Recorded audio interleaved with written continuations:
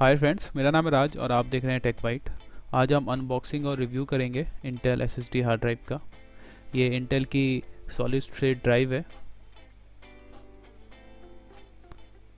530 series है ये और जो इसकी कैपेसिटी है, वो 120 ट्वेंटी है। मैं आपको एक बार बॉक्स ओपन करके दिखा देता हूँ कि क्या क्या मिलता है आपको बॉक्स के अंदर। ये आपकी मेन हार्ड ड्राइव है। ये हार्ड ड्राइव आप अपने लैपटॉप और डेस्कटॉप दोनों के साथ यूज़ कर सकते हैं। और इसके साथ जो एक्सेसरीज़ आती हैं, वो आपके लिए हेल्पफुल हैं अगर आप इस हार्ड ड्राइव को अपने डेस्कटॉप में यूज़ करेंगे तो। अगर आप ये हार्ड ड्राइव लैपटॉप में यूज़ कर रहे हैं तो आपको इन सब चीज़ों की ज़रूरत नहीं पड़ने वाली है। मैं आपको एक एक करके दिखा देता हूँ। ये स्क्रू है। इसके बाद आपको ये पावर केबल मिलता है इसके साथ। और इसके बाद एक साटा केबल भी है इसके साथ।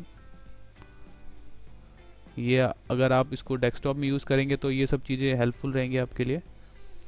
और एक केसिंग भी मिलता है आपको इसके साथ, डेस्कटॉप में यूज़ करने के लिए।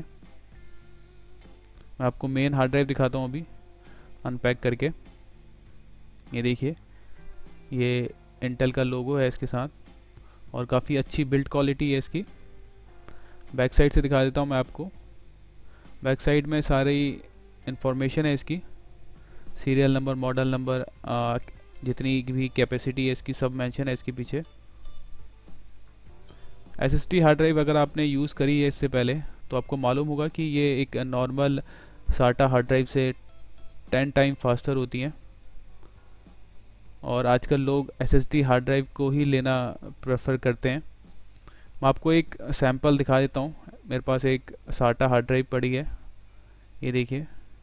लुक वाइज तो दोनों सेम लगती हैं, पर जो स्पीड है, वो एस एस हार्ड ड्राइव की काफ़ी ज़्यादा है साटा हार्ड ड्राइव से।